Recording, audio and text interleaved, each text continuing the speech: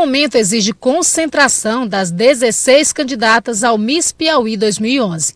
Disciplina, pontualidade, autoconfiança são só algumas das características importantes para um bom desempenho no dia do concurso. Durante a primeira reunião, as representantes da beleza feminina piauiense receberam a agenda intensa de compromissos que seguirão até o dia do concurso.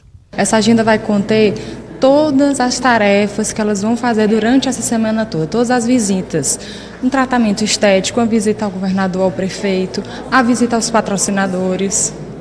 E elas vão sair daqui sabendo tudo isso, inclusive dias dos ensaios, horários, tudo direitinho. Em cada compromisso, aparência e comportamento não passam despercebidos, atributos que são fundamentais para a escolha da Miss Piauí 2011.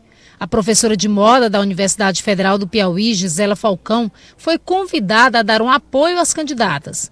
Elas também vão contar com a experiência de Denis Coulter, que acompanha o Miss Piauí há 10 anos. O concurso é de beleza, então a beleza conta muito e isso é importante é, que ela esteja preocupada com o visual, não só a durante o dia do concurso, mas durante toda a programação. Não só da estética, mas cultural também, né? Que elas tenham uma postura, uma postura bacana, porque elas vão representar. A Miss Piauí vai sair daqui para representar o nosso estado é, junto aos outros estados do Brasil